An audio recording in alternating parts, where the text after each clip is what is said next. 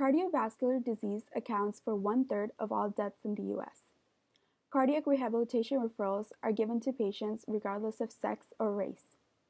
Prior research mainly focused on identifying predictors for CR referrals and estimating the effects of CR participation. There was no research on whether there were sex and racial disparities with the CR referrals. And the question whether inequality in CR referrals is associated with patients' long term mortality has not been answered until now.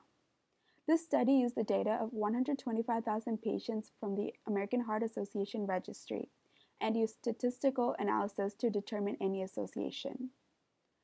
The results showed that females were 12% less likely to receive referrals compared with males.